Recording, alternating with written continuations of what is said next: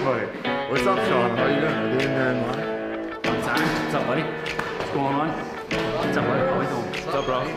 Yo, bigger in real life. I know, I know. Grinelli, now we know what Grinelli thinks of me. He's got a picture of me getting shit pumped by Tim Jackson at his desk. Oh, baby.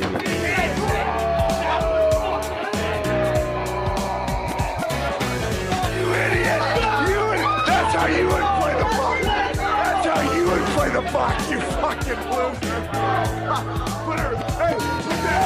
I saw Hold that. on, hold on. Oh my guys doing handshakes like how You can many finish. handshakes they did in two minutes. Troops on me! We Troops on me! it. We- Troops on me! we don't. Troops on me! We said Troops on me! And he goes, holy fuck, you're don't. huge! No, you're big! Embarrassing. You're a fucking orange asshole.